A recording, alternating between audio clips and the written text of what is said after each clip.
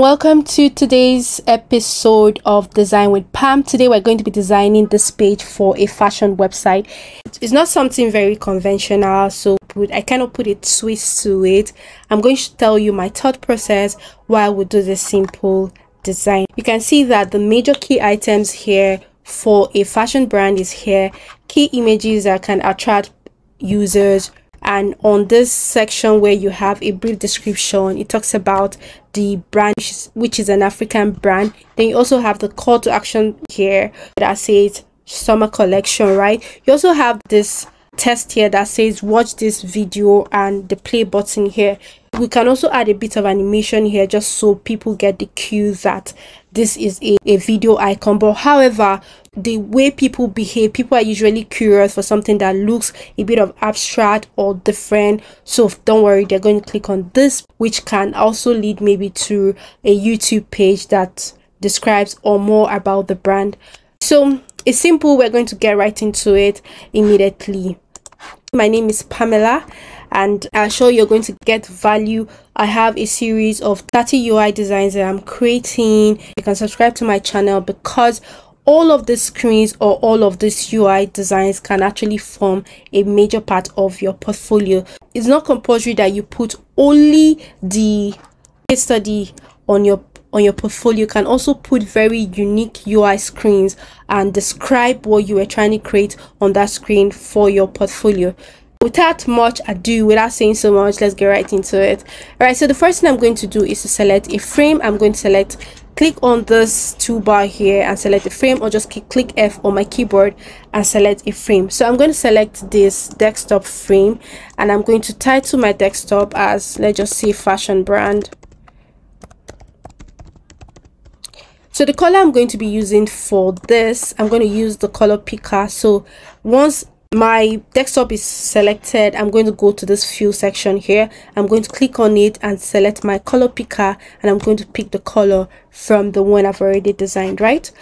Okay so this is the color that i'm using 161616 so it's not purely black but it's black. So the next thing is to bring in my icon. You can import your icon your logo sorry from anywhere. And i'm also going to put my layout grid because i like making use of layout grid it helps me like position things very well. Right so i've chucked in my my logo here. Let's just put it here. Give the space up there. Then the next thing i want to do is to bring in and create this navigation section here. So for this navigation section here we just have we simply have login slash register. I'm going to click on t on my keyboard and i'm going to start typing login slash register. So let's just use lato.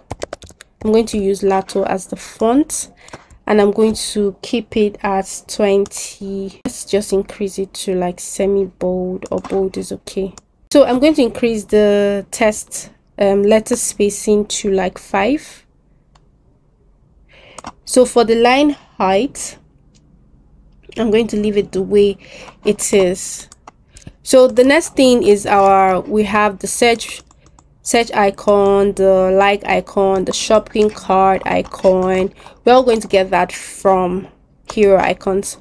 So the first one is the search icon right? So we bring this here. I'm going to change the color to white so i don't misplace that. Then we have the love icon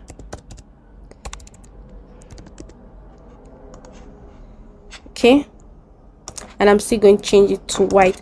So another rule when it comes to design or when it comes to designing is to make sure that the icons that you use are of the same class or the same family.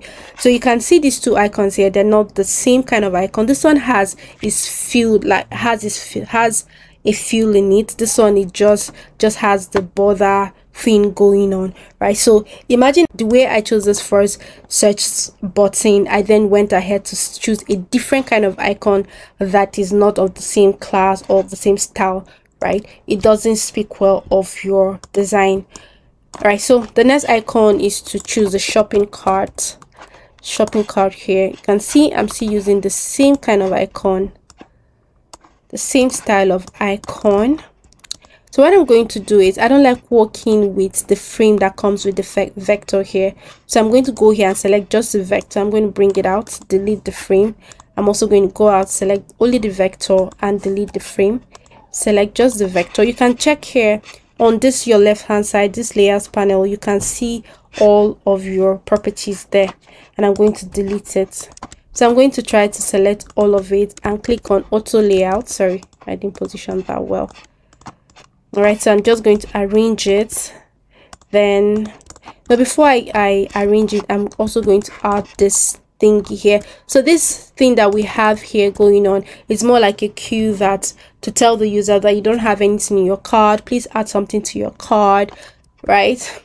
And we also have telling you that oh maybe you've not spent any amount right? You've not spent any amount on your on this website. It's more like showing you or prompting you to please put some amount. So for that thing going on here where we show you where we show users that they don't have anything in their cart i'm going to click on o and then um, activate this tool here. I'm going to hold on to shift and then click and then drag rather. Then i'm going to click on t and then i'm going to type zero but i'm going to reduce the font to 12 so what i'm going to do is that i'm going to go and pick the color that we used there. So i'm going to pick just same way i did my color picker. And i'm still going to change this text here to zero to white sorry. Let's just reduce it a bit. So i'm going to select the both of them and then group it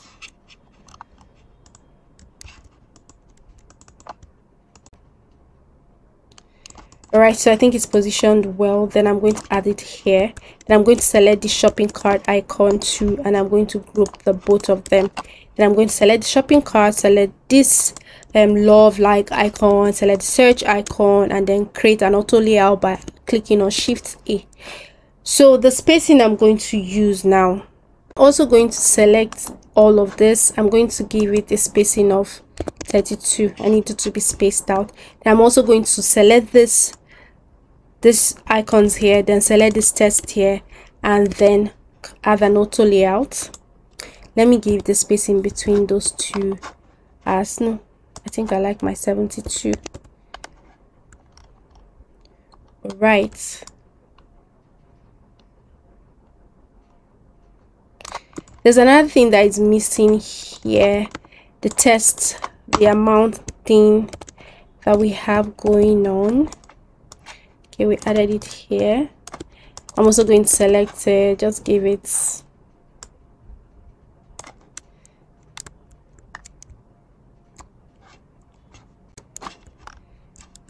Then i'm going to select this logo here. Added an auto layout for this frame too to add the both of them together the next thing we're going to do now is to create this test that we have here. I'm going to click on t on my keyboard and i'm going to type robota slocks robota sorry.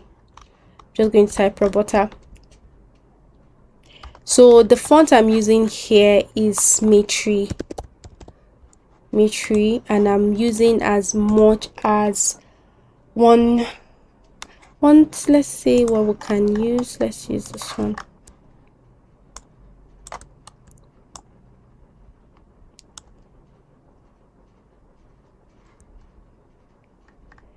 all right so let's increase the the letter spacing here.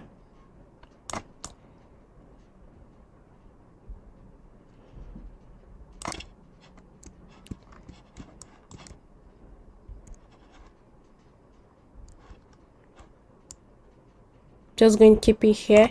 Then i'm going to duplicate this by selecting my option key clicking on my option key and then dragging it out then i'll type logs. I'm going to reduce this here.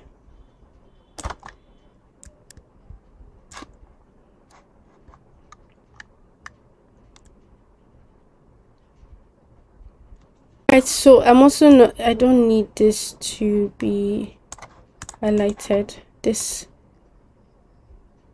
i'm going to remove it alright so i'm going to what we have going on here is just watch this video. So i'm going to type i'm going to click on t on my keyboard and type watch this video.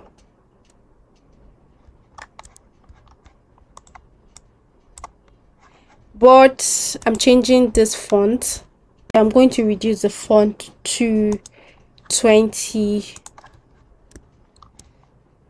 to leave it as bold then i'm going to right click and go to plugins. Then i'm going to look for arc one of my saved plugins. I have it somewhere here.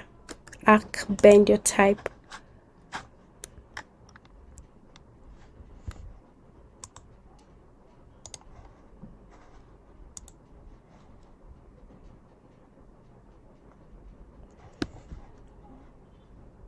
So what i'm going to do is i'm going to increase the bend strength here. I think this will do it. Oh my trial has ended. Alright so you can use bend your towel. I, I didn't know it wasn't free but you can try it out. You can find other ones on on figma. You can try to explore other ones that are free but for now i'm going to bring this here. I'm going to bring this here. So how i created this one was just clicking on o on my keyboard holding on to my shift button. Once i have this this i went to the Heroicons and i added this. And that's that's for that. The next thing i'm going to do right now is to add a i think we didn't make this i was wondering why its ours looked different i use caps for all of it so i'm going to just remove all the caps and then just make the first letter to be cap so why this is happening is because I think I selected automatically let everything be cap and must have done that. So just come to this type settings here, click on it. This is where you have the case here. So you can see the upper case here is highlighted. So I'm going to just de-highlight that and it's going to be fine. So the next thing is to create these shapes that you have here.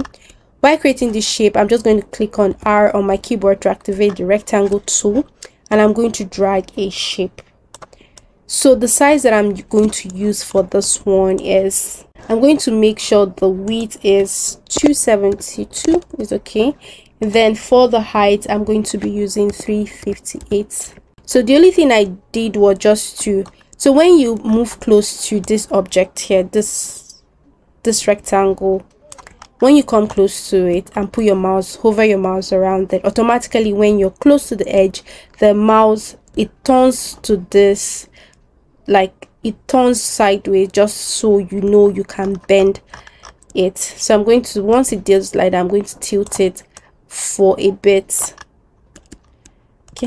i'm going to push this somewhere here. I'm going to make sure this is on this grid line. Then this one i'm going to make sure it's on this grid line. I'm going to create an auto layout for this one and just leave it as 64 so for this two let's I'm, I selected it and selected the second one the spacing is I should I'm going to leave the spacing to be 64 which is okay. So I'm going to put this here. Then I'm going to create another rectangle. I'm going to create a shape. This time around i'm going to give it a width of 272 same width. Let's use same width and the height. Um let's use a 480 482 all right. So i want this first one to go to the back of that one. So i'm going to click drag it up drag the first one up from this layers panel. And yeah there you have it.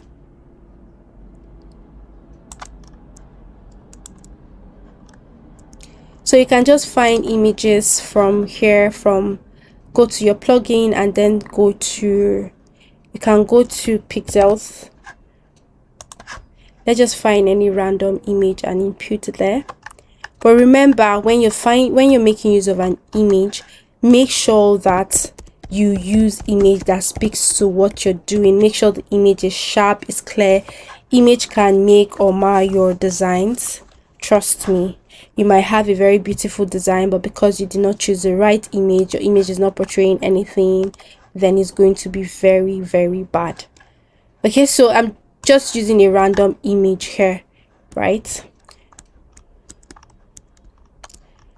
I'm also going to tilt this a bit just so you see our design. Right? Let's move it up up a bit. Okay so the next things are all the tests here um you can create the test here and send it to me on instagram.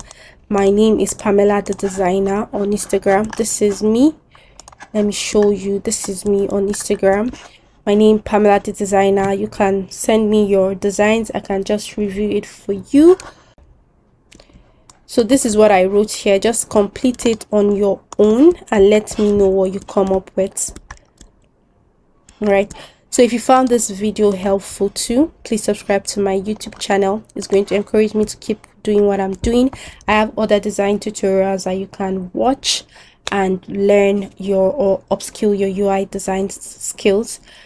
All right so thank you for tuning in today. See you on the next episode of design with pam